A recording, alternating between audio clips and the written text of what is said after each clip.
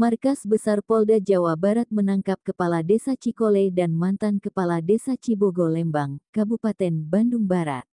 Keduanya diduga melakukannya tindak pidana korupsi dengan nilai kerugian negara mencapai 50 miliar lebih.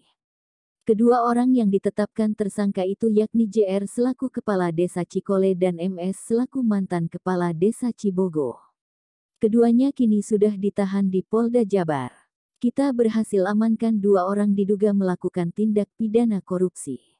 Kita melakukan pemeriksaan tadi pagi sampai siang, kemudian kami lakukan gelar perkara untuk kedua orang tersebut dan kami tetapkan tersangka dan ditahan, ucap Direktur Reserse Kriminal Khusus Polda Jabar Kombes Arif Rahman di Mapolda Jabar, Jalan Soekarno-Hatta, Kota Bandung, Kamis tanggal 28 Oktober tahun 2021.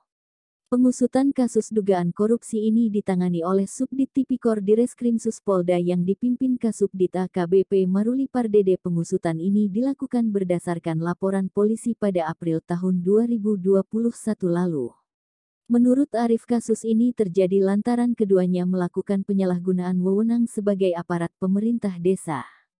Di mana menurut Arif, Keduanya melakukan penghapusan aset tanah milik desa yang terletak di Blok Lapang Persil 57 Desa Cikole, Kecamatan Lembang, Kabupaten Bandung Barat.